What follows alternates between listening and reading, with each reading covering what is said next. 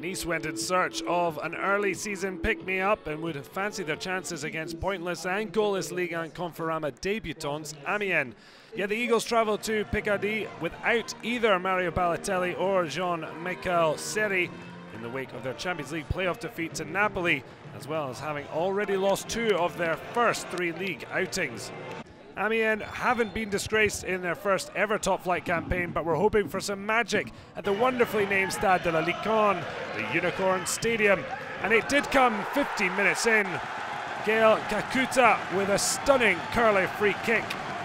Forwards first league on goal since a short spell with Dijon in 2011-12.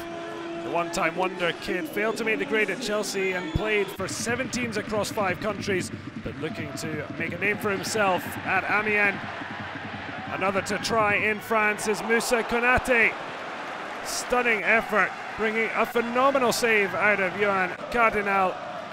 Konate arrived from Sion in the summer after three years in Switzerland, and he finally got his goal. Cardinale unable to do anything about that despite getting a hand to it.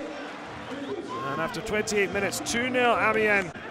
Konate's first goal on his home debut. Well, Nice toothless and behind at the break.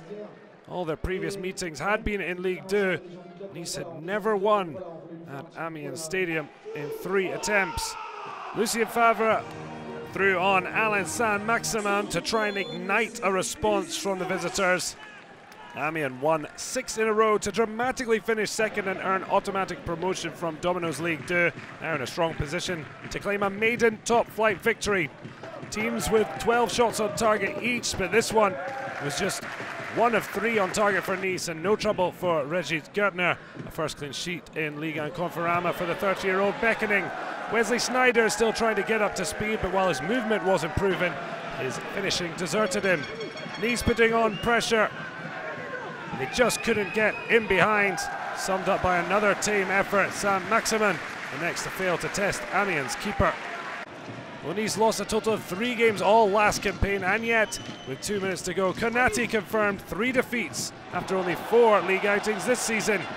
Stunning work on the wing, allowing the striker to tap in. The 24-year-old Senegalese striker signed to help Amiens replace last season's leading scorer, Abu Bakar Kamara, who was sold to Fulham. he's already starting to do the business.